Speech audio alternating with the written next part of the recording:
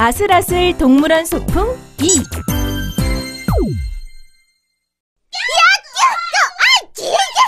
됐어. 난 난쟁이들이랑 놀러 갈 거야.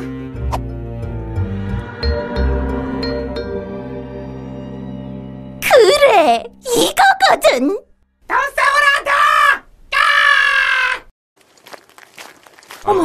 큰일 났네. 아니 어쩌다가 저기에 아, 누가 좀 도와줘요.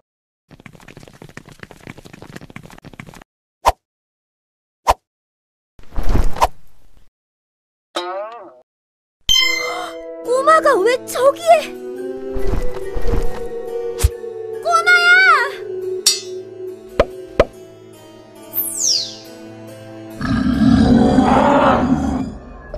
호랑이! 아,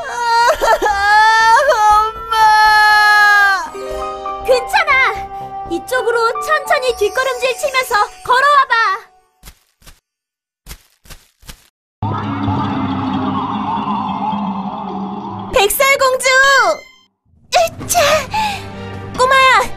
이걸 잡고 올라와.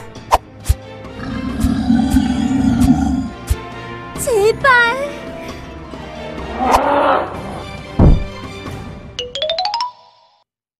공주 누나들 고마워요.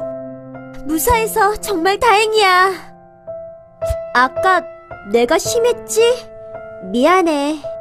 아니야. 나도 미안해. 남자아이를 찾고 있습니다. 멜빵 반바지를 입은 7살 남자아이를 발견하신 분은 즉시 미아보호소로 연락 주시길 바랍니다.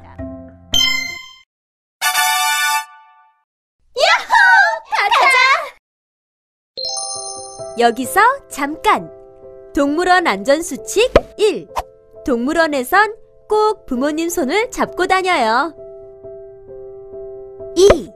동물들에게 함부로 먹이를 주지 않아요. 3. 동물 우리 안에 손을 넣거나 들어가지 않아요. 4. 새치기는 안 돼요.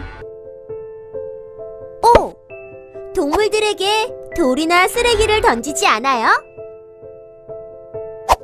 안전수칙을 지키면 두 배로 즐거운 동물원 소풍. 꼭 기억해요.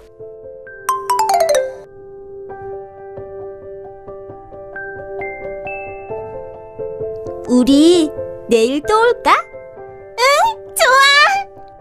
아, 내일은 제발 동물원에서 길 잃은 꼬맹이가 없기를.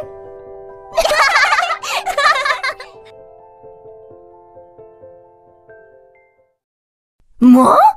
공주들이 또 온다고?